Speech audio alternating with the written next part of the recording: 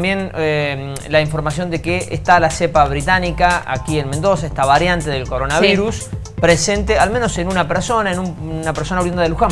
Exactamente, Luján de Cuyo. Esto fue confirmado eh, primero por el Partido Justicialista, porque ya tenían la data incluso a las 10.30 de la mañana cuando dan esta conferencia de prensa. Son los primeros que dicen ya hay confirmado un, al menos un caso de la cepa británica en un mendocino de Luján de Cuyo, pero también sabemos que puede haber otra variante, incluso están hablando de la posibilidad que exista la variante india aquí en la provincia. Ya sabemos que tenemos la variante de Manaos, porque de hecho lo han informado oficialmente tanto del Malbram como del Ministerio de Salud de la provincia. Y bueno, ayer estuvimos consultando el proyecto País, de qué se trata esta cepa británica. A ver, todo está en investigación.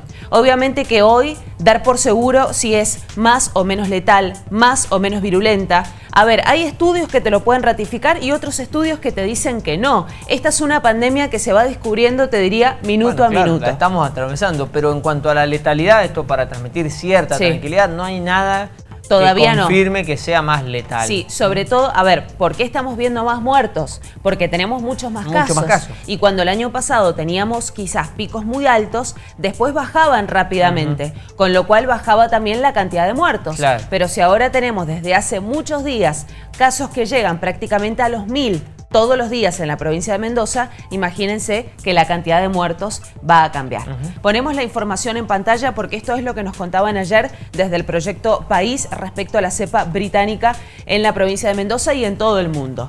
Entre un 40 y un 70% más de contagio, dicen desde el proyecto País. Es decir, que sí está comprobado que es más contagioso, que es más transmisible.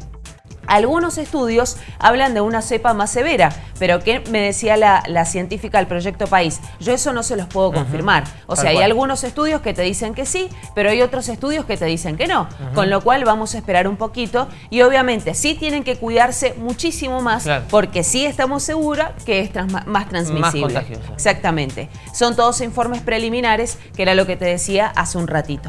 Si pasamos a la otra información, hay dos preguntas claves.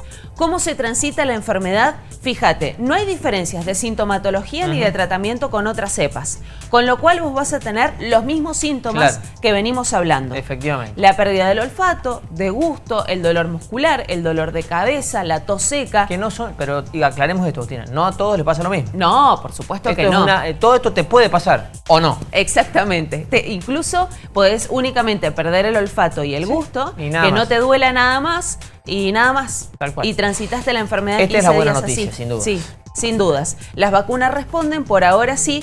Hay algunas dudas respecto a la variante de Sudáfrica, pero es una variante que todavía no ha sido detectada aquí en la provincia de Mendoza. Con lo cual, por ahora podemos decir que la vacuna, las vacunas que se están aplicando en nuestro país y por ende también en Mendoza, dan respuesta a estas cepas nuevas. Entonces, para concluir, ya tenemos confirmada la cepa Manaos. Ayer se conocieron seis casos más que se suman a los 22 que ya habían sido confirmados la semana pasada. Al menos un caso de la cepa británica. Y déjame agregarte algo respecto a esta última información.